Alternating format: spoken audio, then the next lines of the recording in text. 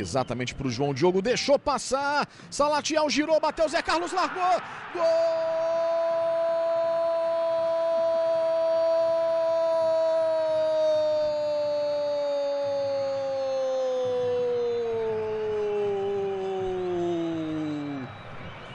Do Botafogo! É do Pantera!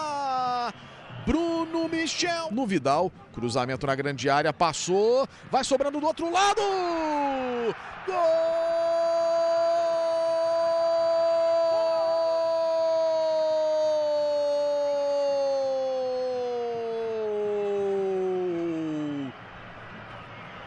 Do Botafogo!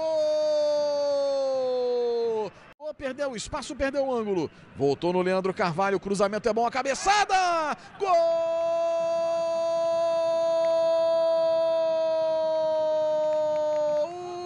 Do Remo!